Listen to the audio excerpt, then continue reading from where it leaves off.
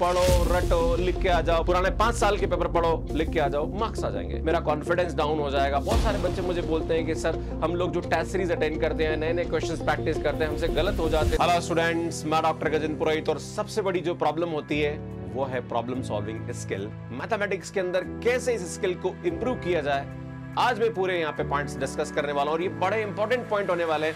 अगर आप किसी कॉम्पिटेटिव एग्ज़ाम की तैयारी कर रहे हैं तो इसमें मैं आपको बताना चाहता हूँ कि जब आप ग्रेजुएशन करते हैं तो वहाँ पे जो पूछे जाते हैं प्रश्न, वो डिस्क्रिप्टिव होते हैं। आप पढ़ते हैं एग्ज़ाम में लिख के आ जाते हैं मार्क्स आ जाते हैं, बड़े खुश हो जाते हैं, मैं बड़ा इंटेलिजेंट हूँ, मेरे 85 परसेंट बने, मेरे 90 परसेंट बने, पर जब वही कॉम्पिटेटिव एग्ज़ाम देने जाते हैं तो भाई साहब आपके होश उड़ जाते हैं, क्योंकि वहाँ पे पूछी जाती है प्रॉब्लम सॉल्विंग स्किल वहाँ पे पूछे जाते हैं multiple select question multiple choice question भाई साहब आपसे नहीं होता है। इसका सबसे बड़ा रीजन जो होता है, वो होता है एग्ज़ाम पैटर्न जब हम कॉम्पिटेटिव एग्ज़ाम की बात करते हैं तो वहाँ पे पूछे जाते हैं कंसेप्ट ट्रिक्स और शॉर्ट मेथड की कैसे हम इन क्वेश्चंस को शॉर्ट मेथड से कर सकते हैं। क्योंकि मान लीजिए कैली हैमिल्टन पे कोई क्वेश्चन पूछा गया, आपको यूनिवर्सिटी पैटर्न से पता है कि कैसे इसको सॉल्व करना पर कैसे इसको शॉर्ट ट्रिक में हम देख सकते हैं, वो आपको जब ट्रिक पता होगी तभी आप कर सकते हो। तो यार कैसे इन स्किल्स को हम इंप्रूव कर सकते हैं, वो मैं वन बाय वन डिस्कस करूँगा। तो सबसे पहला जो पॉइंट होता है, वो होता है रिविजन एंड रिकॉलिंग स्टूडेंट जो भी आप यूनिवर्सिटी लेवल पे पढ़ रहे हैं, उसमें जो भी कंसेप्ट इंपॉर्टेंट है, उसके शॉर्ट नोट्स बनाइए,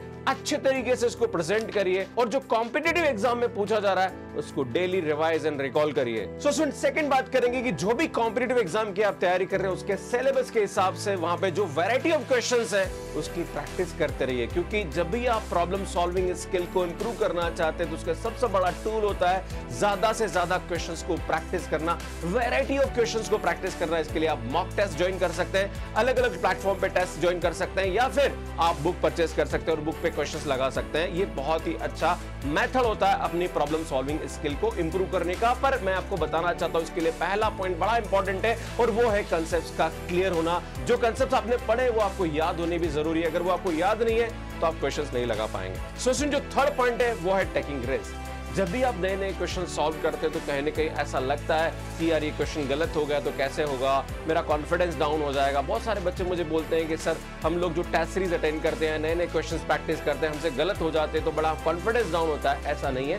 जब आप गलती करेंगे तो आप सीखेंगे कि आपको कहाँ ऐसी जगह है जहाँ पर इंप्रूवमेंट की ज़रूरत है। कौन सा ऐसा पार्ट है जो आपका वीक है और कौन सा ऐसा पार्ट है जिसपे आपको और ज़्यादा काम करने की ज़रूरत है? तो यहाँ पे ध्यान देने की ज़रूरत है कि जब भी आप क्वेश्चन सॉल्व करें तो हमेशा चैलेंजेस लीजिए, करिए कोशिश। अगर गलत गलत होगा तो सीखोगे, और अगर सही होगा तो कॉन्फिडेंस इंप्रूव होगा। एंड जो फोर्थ पॉइंट है स्टूडेंट जब भी आप क्वेश्चंस को पढ़े, सबसे बड़ी स्टूडेंट क्या करता है? जब क्वेश्चन को पढ़ता है तो एक ही बार पढ़ लिया, फिर दूसरी बार पढ़ लिया समझ में नहीं आ रहा। और कभी कभी ऐसा होता है क्वेश्चन की लैंग्वेज ऐसी होती है कि बहुत कॉम्प्लिकेटेड लग रही होती है, समझ में नहीं आ रहा, पर उसका सॉल्यूशन यूँ होता है। राइट ऐसा अगर होता है तो आपको क्वेश्चन को विजुअलाइज करने की ज़रूरत है। उसकी जो इंपॉर्टेंट पॉइंट्स है, उसको राइट डाउन करिए और देखिए कि यार, एक क्वेश्चन एक्चुअली है क्या और क्या पूछना चाह रहा है। अगर ये करेंगे तो कहीं ना कहीं क्वेश्चन को आप सही कर देंगे। एक और जो सबसे बड़ी बात होती है क्वेश्चन को दो से तीन बार अलग अलग इंटरवल में पढ़ लीजिए। मान लीजिए आपने क्वेश्चन देखा, नहीं हुआ, कोई बात नहीं। आगे बढ़ जाइए, फिर वापस दस मिनट बाद फिर उसको पढ़िए, नहीं हुआ, कोई बात नहीं, फिर वापस पंद्रह बीस मिनट बाद के गेप में फिर पढ़िए उसको। आप अगर ऐसे दो से तीन बार उसको पढ़ोगे अलग अलग इंटरवल में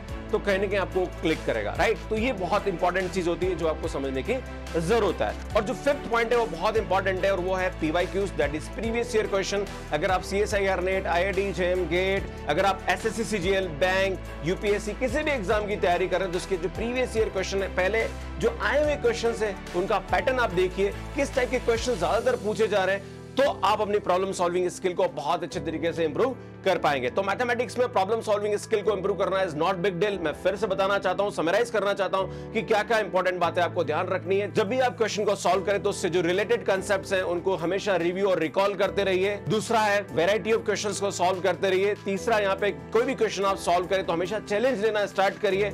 रिस्क लीजिए और जो भी क्वेश्चन आप सॉल्व कर रहे हैं, कहीं ना कहीं उसको विजुलाइज करना स्टार्ट करिए और प्रीवियस ईयर क्वेश्चन को सॉल्व करना शुरू करिए ये चार से पाँच पॉइंट बड़े इंपॉर्टेंट होते हैं अपनी प्रॉब्लम सॉल्विंग स्किल को इंप्रूव करने के लिए। तो मुझे लगता है वीडियो आपको बहुत अच्छे तरीके से समझ में आया होगा। आपको ऐसा कौन सा पॉइंट नज़र आता है जो प्रॉब्लम सॉल्विंग स्किल के लिए बहुत ही इंपॉर्टेंट होता है?